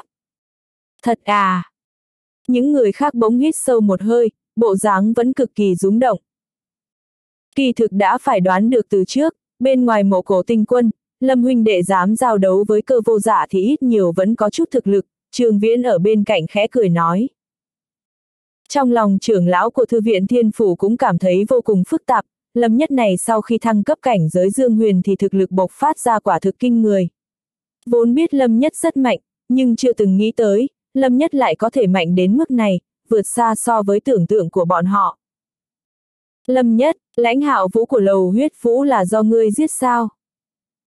Đúng vào lúc này, một giọng nói cực kỳ lạnh lùng, ẩn chứa sát ý cực lớn truyền đến. Mấy người ngẩng đầu lên nhìn, lại là đám người của lầu huyết vũ hùng hổ bước đến, khí thế hung hãn, bộ dạng huy động toàn quân đến để hỏi tội. Cả một hàng người hung hăng tiến đến, đi đầu là ba ông lão áo đỏ vẻ mặt u ám đều có tu vi cảnh giới âm dương tiểu thành.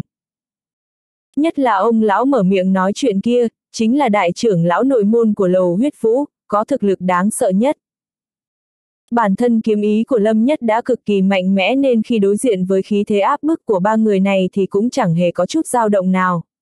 Chỉ nhớn mày lên, đại khái đánh giá một lượt, trong môn của đối phương có kẻ mạnh cảnh giới thiên phách nhưng lại chưa có hành động, rõ ràng là đang để ý đến thân phận của mình và cũng kiêng rẻ tiền bối đường du. Còn có người của phủ tam tuyệt, dường như bọn họ cũng không muốn tham dự vào việc này nên không đi cùng lầu huyết vũ đến đây. Tiểu tử, hỏi ngươi đó, lãnh hạo vũ của lầu huyết vũ ta có phải là ngươi giết không? Đại trưởng lão của lầu huyết vũ kia thấy lâm nhất chẳng thèm để ý đến ông ta thì sắc mặt không khỏi xa sầm, lại lạnh lùng hỏi.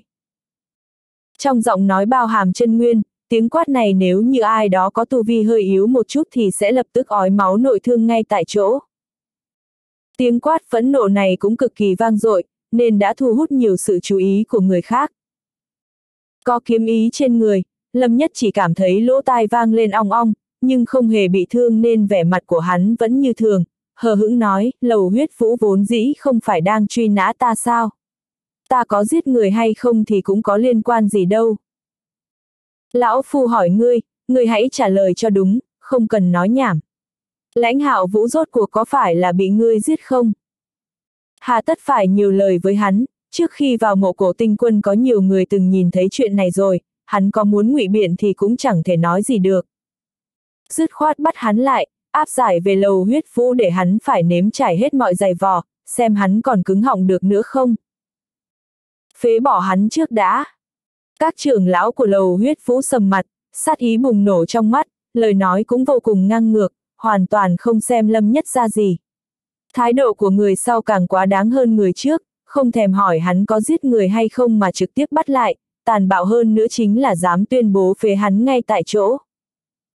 Làm can, lâm nhất là chấp sự khách khanh của thư viện thiên phủ ta, từ khi nào đến phiên các ngươi khoa tay múa chân hử, đúng lúc này, Mạc Linh dẫn theo các trưởng lão của thư viện bước đến đứng cạnh lâm nhất, trong đôi mắt xinh đẹp và dịu dàng bỗng lóe lên tia sắc bén. Vì cứu nàng ta nên Lâm Nhất mới giết chết lãnh hạo vũ, hôm nay, dù nói gì đi nữa thì nàng ta cũng sẽ bảo vệ hắn. Một gã trong ba gã trưởng lão cảnh giới âm dương của lầu huyết vũ thấy Mạc Linh đứng ra, liền lạnh giọng nói chấp sự khách khanh à. Một tên chấp sự khách khanh cũng đáng để so sánh với mạng của đệ tử cốt cán lầu huyết phú ta ư. Ta khuyên thư viện thiên phủ các ngươi nên thức thời một chút, đừng có nhúng tay vào việc này, nếu không thì suy nghĩ cho kỹ, vì một người như thế mà đối chọi với lầu huyết phú có đáng không? Đúng là như vậy, chấp sự khách khanh sớm muộn cũng phải đi. So với đệ tử tông môn, đặc biệt là đệ tử cốt cán lại có tên trên bảng Long Vân như lãnh hạo vũ thì lâm nhất không cách nào sánh được. Những lời này lộ rõ sự uy hiếp. Mạc Linh vẫn giữ thái độ lạnh lùng, không chút sợ hãi đáp, đừng có nằm mơ, lâm nhất có ơn với thư viện thiên phủ ta, dù hôm nay hắn không phải người của thư viện thì chúng ta cũng sẽ không ngồi im mặc kệ. Thái độ mạnh mẽ của nàng ta đã khiến rất nhiều người cảm thấy vô cùng kinh ngạc. Trong mắt bọn họ, dù sao thì Lâm Nhất cũng chỉ là một chấp sự khách khanh, sớm hay muộn cũng sẽ rời đi, không cần thiết phải vì hắn mà phát sinh mâu thuẫn với lẩu huyết vũ, làm vậy được không bù mất. Đúng lúc này, trong ba ông lão áo đỏ, đại trưởng lão từ đầu đến giờ vẫn im lặng bỗng bộc phát ra uy áp cực lớn, thình lình đánh úp đến. ầm ầm, uy áp tích tụ đã lâu ảo ảo lao đến, ngoài lâm nhất, mấy người mặc linh không kịp trở tay nên bị ép lui về sau vài bước, phút chốc kéo giãn khoảng cách với lâm nhất. Cô nhóc kia, còn chưa đến phiên ngươi lên tiếng đâu. Ta muốn giết thằng nhóc này thì giết, ai làm gì được ta. Vừa dứt lời, ông ta liền bay vọt lên trời, kế đó lao nhanh về phía lâm nhất, duỗi tay ra đánh một trưởng xuống đầu hắn. Từ lúc ông ta bộc phát huy áp của cao thủ cảnh giới âm dương cho đến khi ra tay đánh xuống, gần như là một chuỗi hành động liên tục, vô cùng lưu loát, nhanh đến mức khiến người ta hoa mắt. Đối với những người khác, e là chỉ trong một cái chớp mắt đó đã bị ông ta đập thành thịt vụn rồi. Ầm. Um.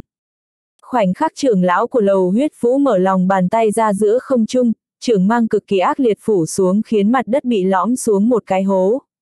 Lúc này, nền đất dưới chân lâm nhất không khác nào bùn nhão, và hắn có thể bị vây khốn trong đó, không cách nào nhúc nhích được. Lâm nhất vẫn luôn cảnh giác người này, kiếm ý luôn bên người nên gần như ngay khi đối phương ra tay, hắn liền có phản ứng.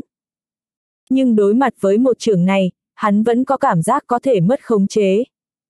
Thất huyền bộ, kim ô tung cánh. Lâm nhất không chút nghĩ ngợi, cũng không đợi đến khi hai chân hoàn toàn bị hãm vào đó, kim ô ấn sau lưng hắn lập tức tỏa ánh hào quang, hai tay hắn giang rộng, bày ra tư thế kim ô tung cánh, phút chốc bay vọt lên trời.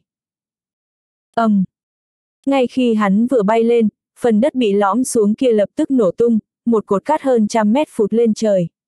Lâm nhất né tránh cực nhanh, nhưng vẫn bị dư chấn ảnh hưởng, không khỏi rên lên một tiếng, cả người liên tục xoay tròn giữa không trung.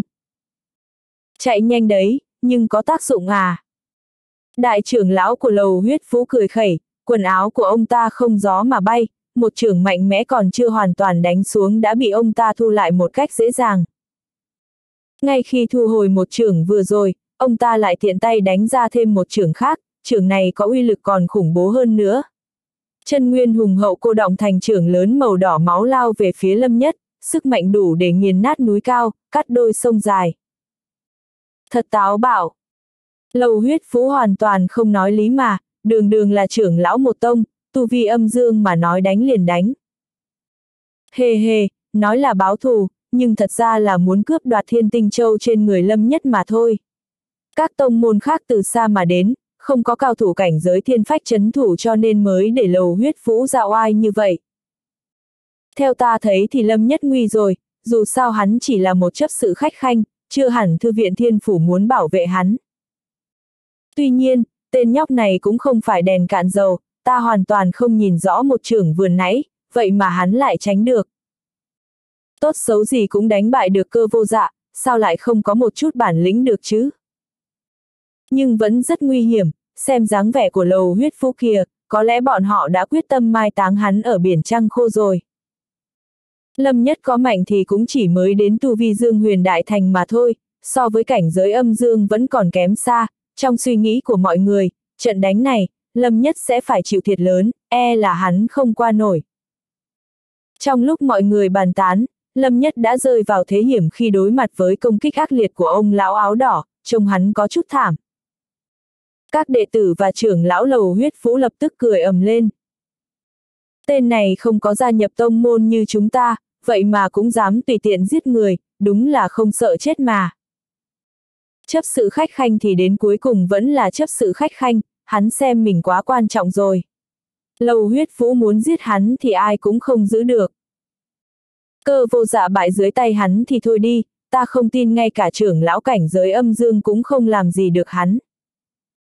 Những tên nhân tài thuộc 10 hạng đầu bảng ngoài mà trước đó từng thua trong tay Lâm Nhất đều tỏ vẻ thích thú, thậm chí bọn họ còn thầm khoái chí và hả hê khi thấy hắn rơi vào tình cảnh như vậy. Tiền bối đường du. Thấy thế, Mạc Linh lập tức quay sang nhìn tiền bối đường du cao thủ thiên phách của thư viện với ánh mắt cầu xin. An tâm, cứ chờ đi đã. Sắc mặt tiền bối đường du lộ vẻ nghiêm túc, nhưng ông ta vẫn không ra tay. Trong lòng ông ta cảm thấy có chút bất đắc dĩ, thật ra thì ông ta không quá đề cao ba tên trưởng lão cảnh giới âm dương của lầu huyết vũ, người thật sự khiến ông ta phải kiêng kỵ chính là ô phong cao thủ cảnh giới thiên phách đứng phía sau. Lão già này vẫn luôn nhìn chòng chọc vào ông ta, khiến ông ta không dám có hành động tùy tiện. Chỉ cần một chút lơ là, với tu vi của đối phương thì e là với một chiêu thôi, có thể giết chết lâm nhất trong khoảnh khắc. Tuy tình hình trước mắt có nguy hiểm, nhưng còn chưa đến bước đường cùng, ông ta không nên tự làm mình dối. Nhưng cứ tiếp tục như vậy cũng không phải là cách, đến thời điểm mấu chốt, dù phải liều cái mạng già này thì ông ta cũng quyết đưa Lâm Nhất rời khỏi nơi đây. Chết! Lại thêm một tiếng quát vang dội, đại trưởng lão của lầu huyết phú tiếp tục đánh ra một trường.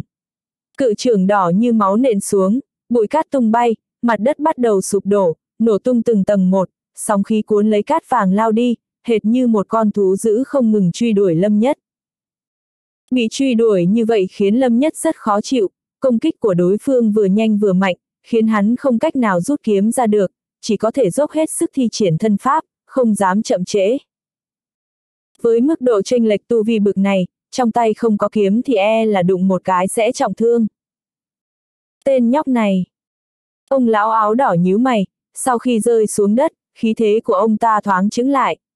Ông ta đã đánh ra 72 trưởng liên tiếp, không hề ngơi nghỉ, mỗi một trưởng đều chứa uy lực đủ để nghiền ép cảnh giới dương huyền. Nhưng đối mặt với áp lực khủng bố như vậy, Lâm Nhất chỉ bị ảnh hưởng đôi chút bởi dư chấn, nhìn thì hung hiểm nhưng thật ra không ảnh hưởng đến toàn cục. Hiện tại, sau khi ra tay liên tục, khí lực của ông lão áo đỏ đã cạn, buộc phải dừng lại đôi chút. Nhưng thời điểm dừng lại này lại vô cùng khéo, hơn nữa chỉ xảy ra trong thoáng chốc, nếu không đủ nhạy cảm thì gần như không phát giác được. Dừng. Còn chưa rơi xuống đất thì trong mắt Lâm Nhất đã lóe lên tia khác thường, lúc này, hắn lập tức xoay người bắt lấy kiếm táng hoa vừa bắn ra từ trong hộp đựng kiếm sau lưng, kế đó rút kiếm ra khỏi vỏ. Xoạt. Kiếm táng hoa đã thăng cấp lên bảo khí, hào quang tỏa ra bốn phía, như mộng như ảo. Thân kiếm lóe lên tia sắc bén, tiếng kiếm ngân khiến người ta có cảm giác khí lạnh sộc thẳng vào tim, sinh ra khiếp sợ. Kiếm tốt. Rất nhiều người sáng mắt, nhìn không được hô to. Không chạy nữa à? Ông lão áo đỏ cười dữ tợn, sau đó hóa thành một cái bóng đỏ như máu, cái bóng lao đi trong gió, phút chốc đã trồm đến. Đến khi huyết quang cô động, lộ rõ thân hình ông ta thì ông ta đã tung ra chín trưởng ngay giữa không trung. Mỗi một trưởng giống như một ngọn núi thấm máu, chín ngọn núi nối liền nhau, che phủ trời đất, hình thành một dãy núi nguy nga và hùng vĩ. Thiên phá vân, kiếm trong tay lâm nhất phát ra một tia sáng bạc trói mắt giữa không trung. Tia sáng bạc nở rộ, diễn hóa ra kiếm thế mênh mông, cuốn lấy cát vàng đầu trời, phút chốc ngưng tụ thành một cơn bão cát vàng điên cuồng gào thét. Những hạt bụi đang xoay tròn trong cơn lốc va chạm với lưỡi kiếm làm bắn ra tia lửa sắc bén, có kiếm âm bén nhọn không ngừng vang vọng.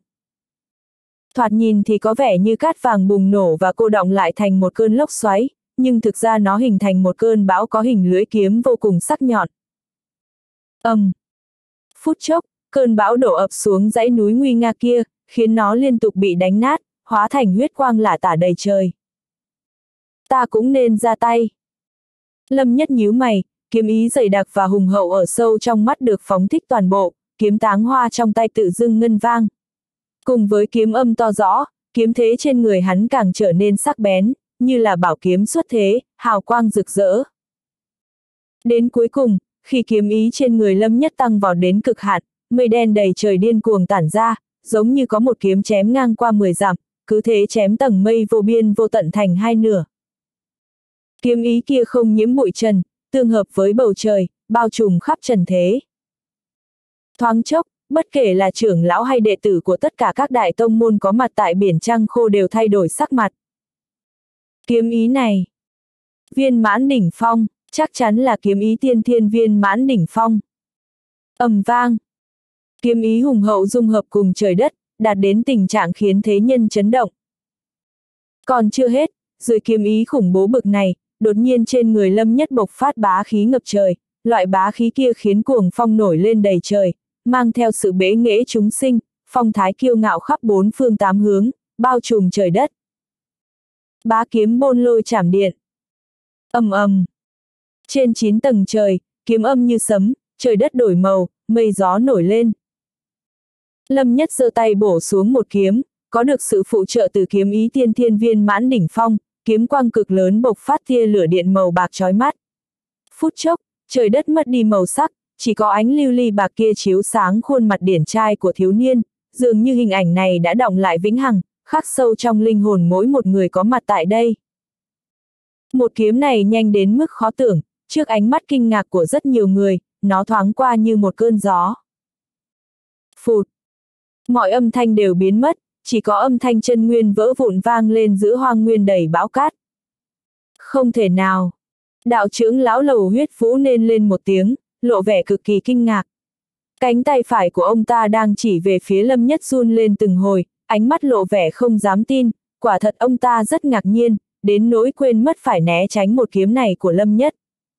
Nói đến đúng là khó mà tưởng tượng được, lúc trước, ông ta công kích như mưa to gió lớn, liên tục đánh ra 10 trường.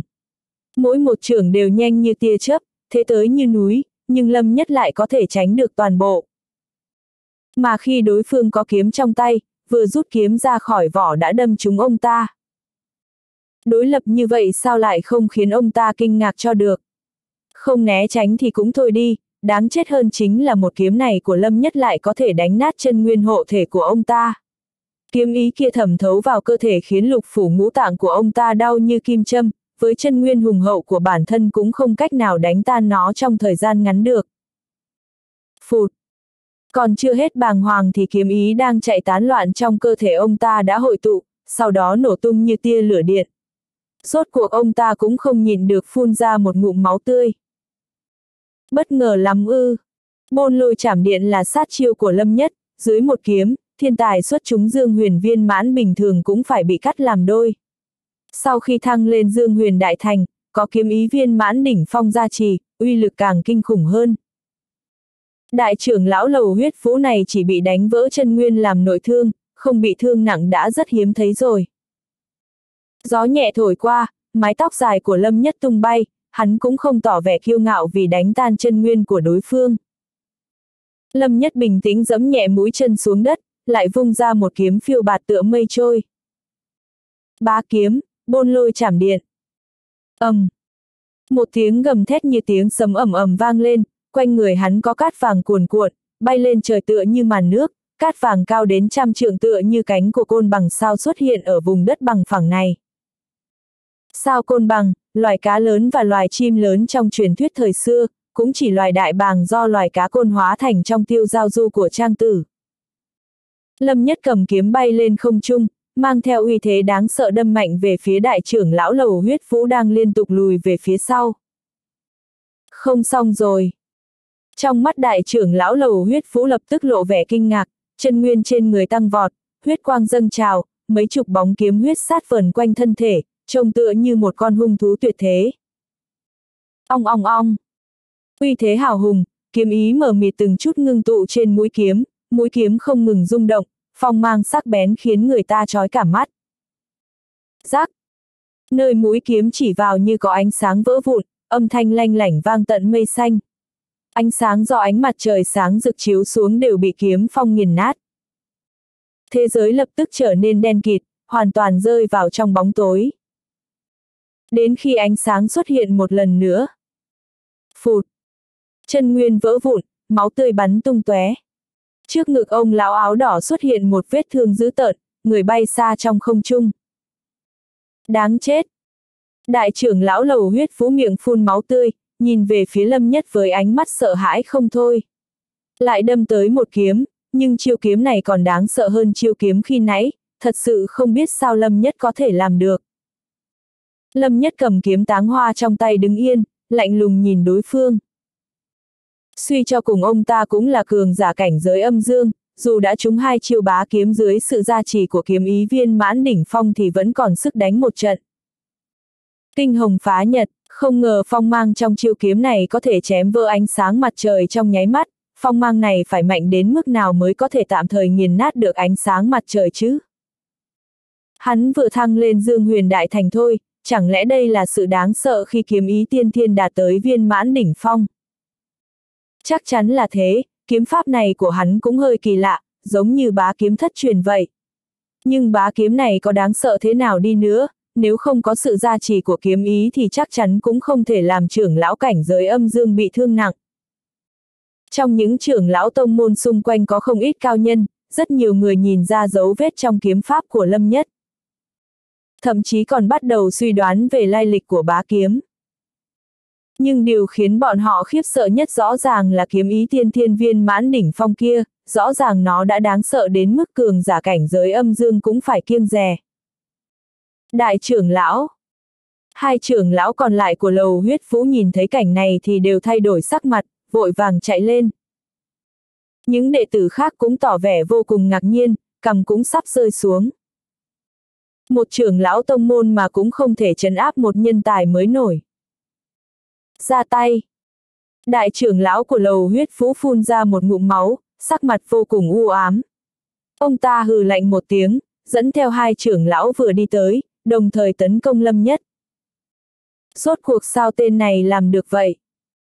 Tạ Vân Kiều của Càn Vân Tông mất hồn mất vía, ngạc nhiên nói, hoàn toàn không hiểu được. Hắn ta có kiếm ý tiên thiên đại thành, đáng sợ hơn kiếm ý viên mãn của người khác rất nhiều, cũng vô cùng khó lĩnh ngộ. Kiếm ý tiên thiên đại thành đã đủ để hắn ta có chỗ đứng trong các thiên tài cùng thế hệ rồi. Nhưng Lâm Nhất chỉ mới 18 tuổi đã khống chế kiếm ý đến mức độ này, đạt đến trình độ mà hắn ta hoàn toàn không hiểu nổi. Nếu tên này không chết, e rằng tiếng tăm sẽ vang xa. Quỷ đao diêm không lẩm bẩm, tỏ vẻ thổn thức. Hắn ta nói không sai, có thể đánh bại cơ vô dạ, Lâm Nhất đã vang danh rồi. Bây giờ, ngay cả trưởng lão cảnh giới âm dương cũng bị hắn đả thương, chắc chắn sẽ nổi danh cả U Châu. Thêm một khoảng thời gian nữa, nói không chừng tám châu khác của cổ vực Nam Hoa cũng sẽ bắt đầu truyền lưu sự tích của Lâm Nhất. Trước khi đến biển Trăng Khô, hắn chỉ có chút danh tiếng mà thôi, giống như vô danh tiểu tốt vậy. Trong mắt 10 người mạnh nhất ở bảng ngoài, hắn chỉ là một tồn tại như con chó con mèo, không ai coi ra gì cả. Bên phía thư viện thiên phủ, Trương Viễn, Mục Trần, Mạc Linh và cả tiền bối đường du cũng hơi trợn mắt há mồm.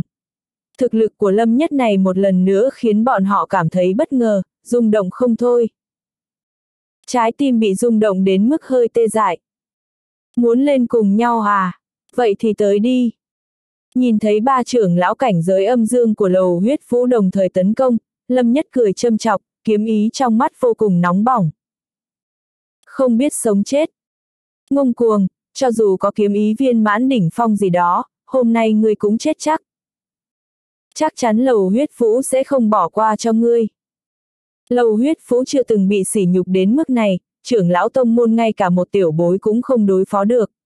Ba người nổi giận, sát khí và chân nguyên dao động trên người, cát vàng tung bay, uy thế đáng sợ. Toái ngọc quyền. Bôn lôi trưởng. Huyết ảnh như long. Ba người lần lượt sử dụng sát chiêu, quyền mang như núi, trường lực như sấm, huyết ảnh mờ mịt như dao long, dưới sự liên thủ của bọn họ, uy thế chấn động đất trời xuất hiện, không ít thiên tài bảng Long Vân đều thay đổi sắc mặt. Dù gì cũng là trưởng lão cảnh giới âm dương, một người đã đủ đáng sợ rồi, hôm nay ba người còn liên thủ, hoàn toàn không tha cho Lâm Nhất một con đường sống. Nhưng không ngờ Lâm Nhất vẫn đứng sừng sững tại chỗ không động đậy, mặc cho sát chiêu mang theo uy thế động trời đánh xuống.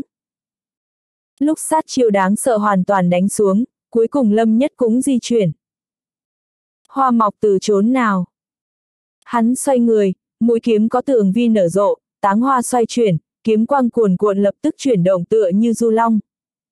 Dị tượng của ba sát chiêu còn chưa đụng phải Lâm Nhất đã nổ tung. Quyền mang như núi, trương kình như sấm, huyết quang như dao long đều bị đánh tan. ầm, um, trong mắt đại trưởng lão lầu huyết phú có hàn mang lóe lên, không đợi Lâm Nhất thu kiếm, ông ta đã lao vào trong kiếm thế minh mông, tấn công Lâm Nhất từ một góc độ khá xảo quyệt. Sự dứt khoát của chiêu thức, sự xảo trá của góc độ đều tỏ rõ người này không phải dạng lão luyện thông thường, thủ đoạn tương đối tàn nhẫn. Ta từ đâu đến? Nhưng Lâm Nhất lại lạnh lùng cười một tiếng, lật tay đâm ra một kiếm, bóng người biến hóa. Trong một thoáng, nhìn khắp cả vùng trời này cũng không trông thấy tung tích của Lâm Nhất ở đâu, đóa tường vi ở đầu mũi kiếm kia bỗng nhiên vỡ nát, biến thành một cơn bão táp. Cánh hoa trong cơn bão táp va đập vào nhau phát ra âm thanh kiếm ngâm vang vọng khắp trời. Uỳnh!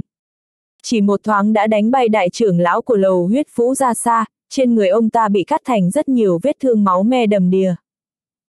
Núi rộng sông dài, lá xanh gió thổi.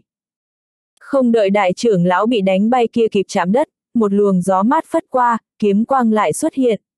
Một kiếm này, từ to đến bé, từ tính đến động, đầu tiên là sông hồ uốn lượn quanh núi, sau lại là lá rụng bị gió cuốn bay, kiếm thế mênh mông cuồn cuộn ập xuống. Khiến cho hai ông lão áo đỏ khác đang muốn xuất chiêu phải liên tục lui về phía sau. Mỗi lui một bước đều có kiếm quang cứa lên người, mỗi một bước là máu văng tung tóe. Hoa bay nhẹ như mộng, mưa rơi thoảng như sầu.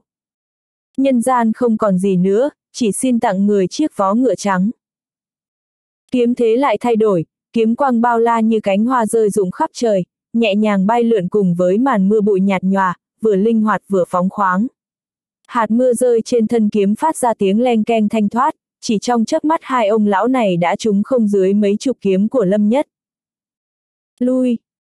Lui trước đã, tách khỏi kiếm thế của hắn. Ba người khí thế hung hãn lao đến, chớp mắt đã nhếch nhác vô cùng. Bốn phía hoàn toàn tĩnh lặng, trưởng lão và đệ tử của các tông môn đều đã ngây ra như phóng. Từ trước đến nay bọn họ chưa từng gặp loại kiếm pháp thế này, như ngựa thần lướt gió tung mây, chẳng thấy tung tích đâu mà tìm, lúc múa kiếm lại lưu loát nhẹ nhàng như mộng như ảo. Bọn họ đã hoàn toàn quên cả ngôn từ, miệng đắng lưỡi khô, nói không nên lời. Từng sát chiêu của Trần Quang kiếm pháp được thi triển ra, ba trưởng lão của lầu huyết phú hết lùi lại lùi, từ trên xuống dưới khắp người dỉ đầy máu tươi. Mắt thấy ba người này đã sắp rơi vào trong hiểm cảnh, liền đột nhiên tế ra võ hồn, khí thế vốn rơi xuống tận đáy vực sâu nay lại lập tức bùng lên. Vẻ mặt ba người giữ tợn, tranh thủ cơ hội lật ngược tình thế. Tế ra võ hồn rồi à? Thú vị, ba vị trưởng lão cảnh giới âm dương cùng lúc đối phó một hậu bối đã đủ nhục nhã lắm rồi, không ngờ lại còn bị ép đến mức phải tế ra võ hồn. Dù gì cũng là trưởng lão của thế lực cấp chuẩn bá chủ, đúng là mất mặt quá. Lâm nhất gặp nguy rồi, một khi kiếm thế bị phá, sợ là lập tức sẽ phải chết. Nhìn thấy ba người đều tế ra võ hồn, tất cả mọi người đều kinh hoàng, không thể ngờ được Lâm Nhất một mình một kiếm lại có thể ép ba người kia đến bước này. Đến hay lắm. Đáy mắt Lâm Nhất lấp lánh hàn mang, cơ thể hắn ở giữa không trung xuất hiện bên trong kiếm thế vô biên kia. Ta đến từ trên trời. Hoa mọc từ trong lòng bàn tay. Trong khi kiếm thế huy hoàng sao động, Lâm Nhất bỗng nhiên đáp đất, lật tay vung ra, táng hoa kiếm cắm phập lên mặt đất trước người hắn.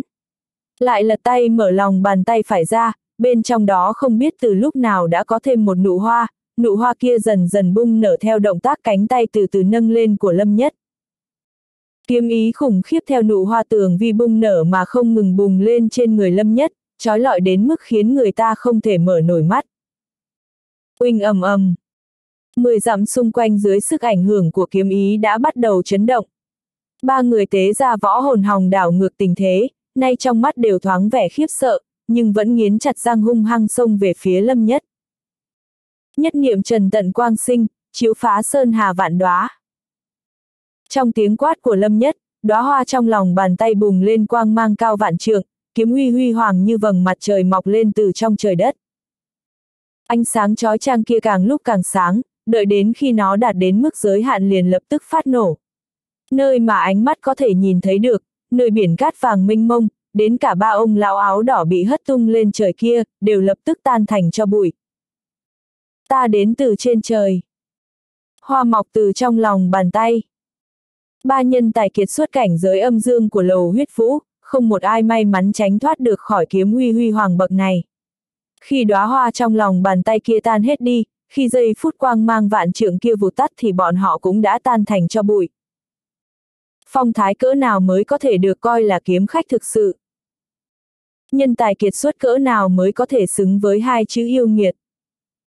Phong thái một thoáng thành cho này mới có thể coi là kiếm khách thực sự, nhân tài kiệt xuất cỡ như lâm nhất mới có thể xứng được với hai chữ yêu nghiệt. Trong cả trời đất, ngoại trừ kiếm âm quanh quẩn chưa tan thì mọi thứ đều hoàn toàn tĩnh lặng.